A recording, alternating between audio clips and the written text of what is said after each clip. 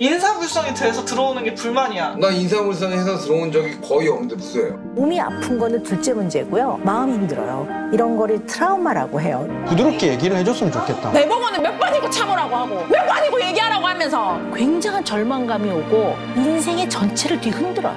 부부는 자기가 해야 되는 역할이 있고 보듬고 채워줘야 되는 게 있는데 좀 자신감이 생겼다고 해야 되나? 술을 안 먹으면 가족하고 더 오랜 시간을 보낼 수도 있고 메모하는 습관을 다른 사람이 되었어요. 여전히 티격태격 하는데 예전보다는 많이 재밌고